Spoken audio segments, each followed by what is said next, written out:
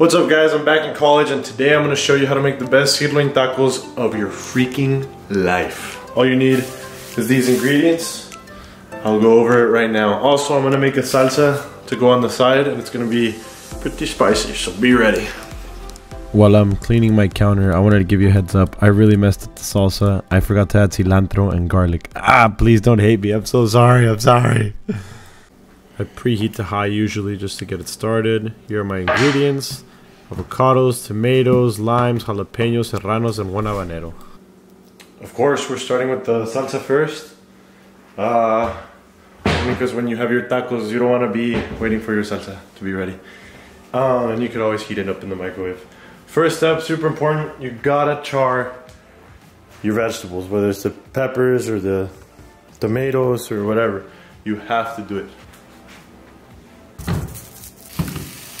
Course, while we wait for those to get nice and toasty, we're gonna go ahead and start prepping our meat.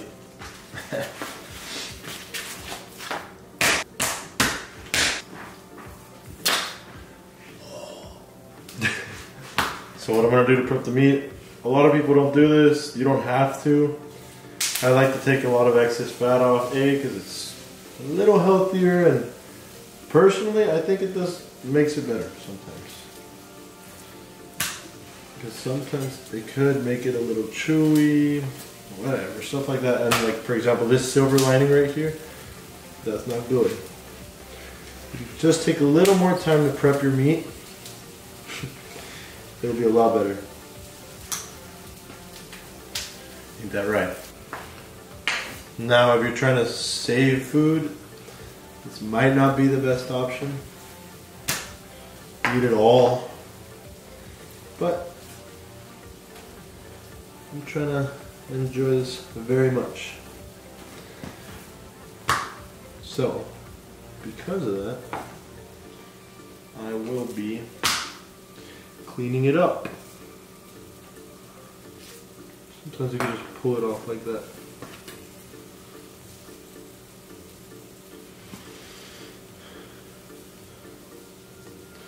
Now, of course, you could take your time and get all of it off, or you could be lazy like me and not. So you see here, they're starting to char a little bit. I'm gonna turn it down a little bit actually. I have a really bad habit of doing everything with my hands, but I've been doing it for years. All right. We're gonna start off with some salt. There's plenty of fat on this, so I'm not gonna put too much olive oil. I'll put some in the pan, but none on this. Some pepper.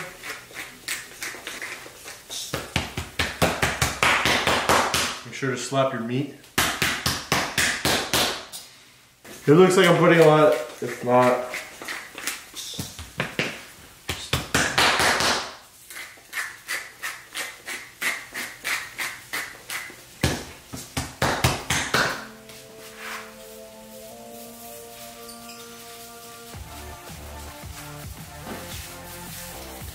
All right, so put your meat to the side. I'm gonna wash this. So you have your avocado. I like to slice it. I'm gonna dice this avocado into little squares. About a centimeter thick, half an inch thick. All right. Now we have diced avocado. Wash your hands. Now that your vegetables are pretty charred, I'm gonna go ahead and, oop. gonna put them in the blender. Seeds and all. And guess what? You're gonna blend it.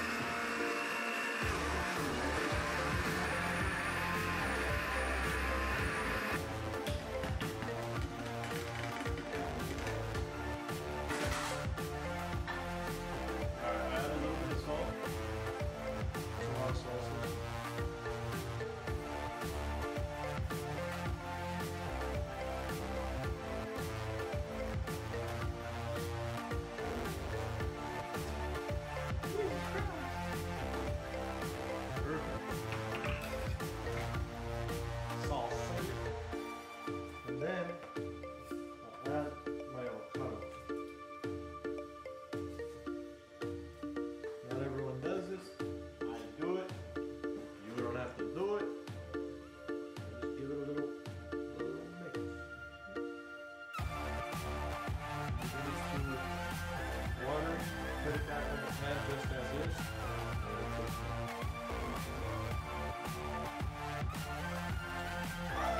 All right, now we're gonna start cooking the meat. Since this meat is pretty big, I'm gonna, I'm gonna cut it in half and cook, and cook it separately. Look at that. That's why I like sirloin a lot more than uh, fajita, because it's it's good.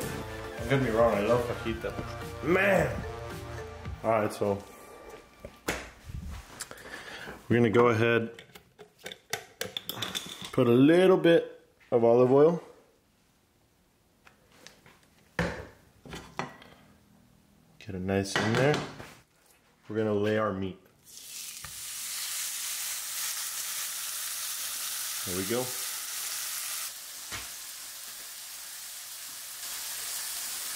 Get where you're gonna put your tortillas on another thingy. I turned my heat down to like a six because it is a lot hotter.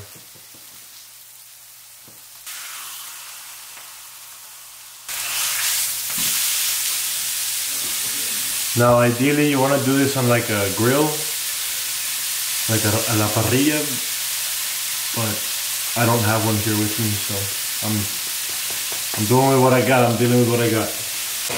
Now, I like my meat like medium rare, almost raw. But uh, I'm gonna cook it a little more. Probably like medium. We'll see how it goes. I forgot to add minced garlic to my salsa. Whatever, whatever. You know presentation is key on a plate like this. So right now all I'm doing is I'm preparing it. We have the fajita, lime, avocado, and uh, the salsa. And now I'm gonna make my tortillas and finish cooking my meat.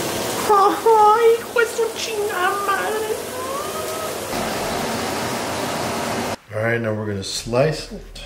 It's really important to slice against the grain.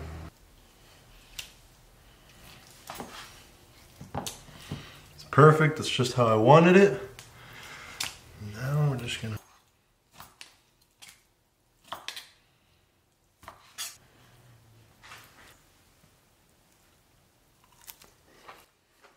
mm.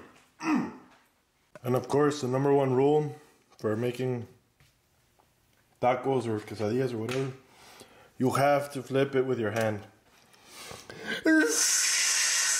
It's the only way that the tortillas will be Perfect. Now let's make ourselves a little taquito. So first, you want to put some meat on it. Second, I'm gonna put one slice, maybe two of your crazy of avocado, and then you're gonna put some of the salsita you made. Look at that. It also has avocado.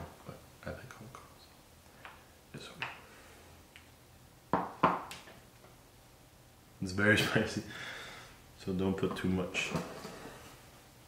And then, last but not least, some queso cotija. As I'm fighting demons to uh, get this cheese through the bag, I wanted to tell you guys thank you for all the support on all the social medias. You guys really mean a lot to me. I, uh, you, like you have no idea how much you're changing my life.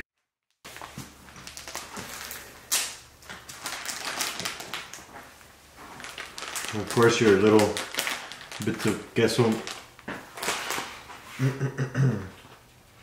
Voila. Salud, perros, perras. Cheers, guys. And of course, here we have the finished product. We got the fajita, este aguacate, salsa with.